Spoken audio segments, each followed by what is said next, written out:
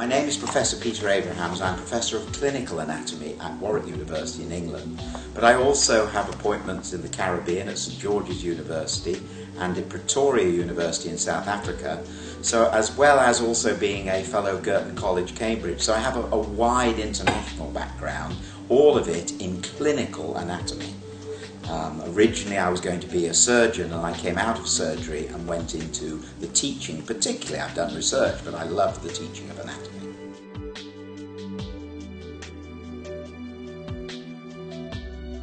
Partly it chose me, and I chose it. I wanted to be a teacher, and while I was a young resident, I actually found that I enjoyed the teaching, published a book, was offered a Fulbright scholarship to, the, to America, and in fact, uh, that's been how my career has developed.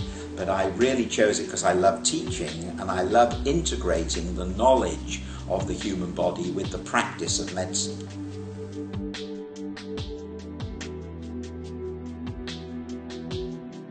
Well, this book is the Imaging Atlas of Human Anatomy which I wrote with Professor Weir and some colleagues, Johnny Spratt and, and, and, Lonie Salkowski, who's uh, at Wisconsin.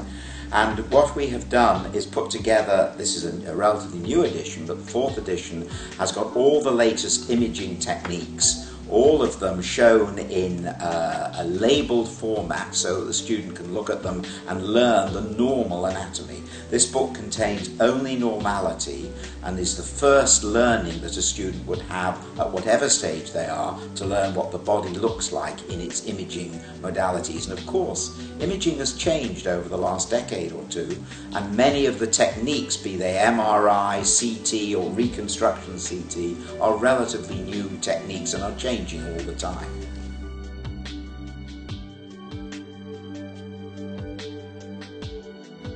Mainly what makes this book different is the four authors are all radiologists and I'm a professor of anatomy, Jamie Weir's a professor of radiology, the other two are practicing specialist consultant radiologists. So our background is both from England, America, my international background from the Caribbean and South Africa. It means that we've got a very wide spread of knowledge base. And Professor Weir and myself have been writing this book for nearly 30 years. So over the last 30 years, CT scanning, MRI scanning, and all the nuclear medicine has changed immeasurably. And so we've seen and kept abreast of how the changes have happened in modern medicine. And I think that's what's special about the book. The other thing that's special about the book, it is simple.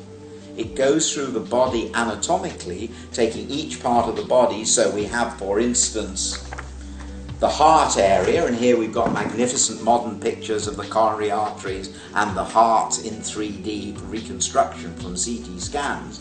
And we go through through the chest, through the arms, through the legs, and nowadays with the modern technology, you can even take a whole, if we look at this, you can see a whole uh, thorax and abdomen in a uh, either 3D CT, which again is lovely technology and you can see the three dimensional aspects, or if we go to the latest in MRI, you can see complete thorax and abdomen in the coronal section of the whole body, and this system is throughout this book. So, literally, every single structure in the human body is labeled in a simple form for the student to learn the normal radiological anatomy.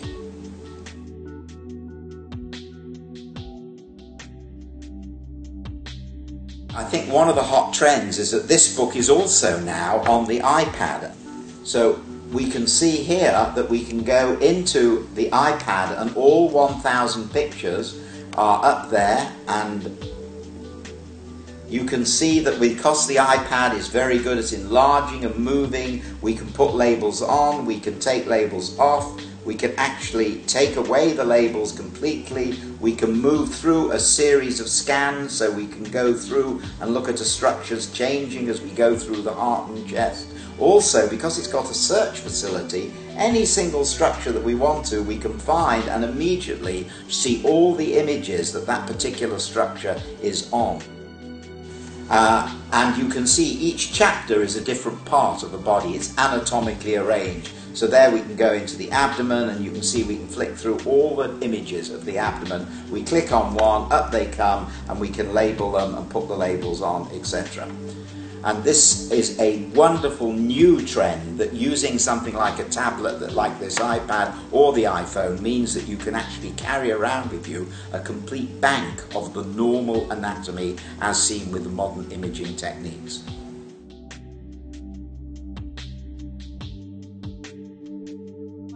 In this book, when you get the book, there is a scratch card inside that gives you some pathology tutorials and we're very much hoping on, on the online and we're very much hoping that many of those will soon appear as an iPad or an iPhone version uh, as, as so people can do the tutorials which are pathology. The anatomy is in the book, the pathology will be on the web and on the new smartphone technology.